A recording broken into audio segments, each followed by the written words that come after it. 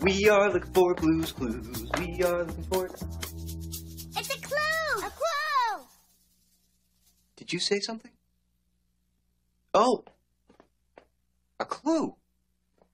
Uh, Where? On the table! On on the table. Oh, another one of Blue's clues.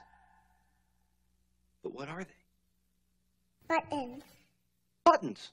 One, two, buttons?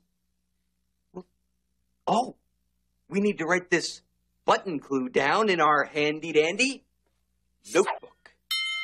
Okay, so we have buttons. So we draw a circle and another circle and some dots. There. Buttons. So what was Blue's first clue? Yarn. Yarn. Right. And now we have one, two buttons. Hmm. So what could Blue want to make with yarn and two buttons? Yarn and two buttons. I think, I think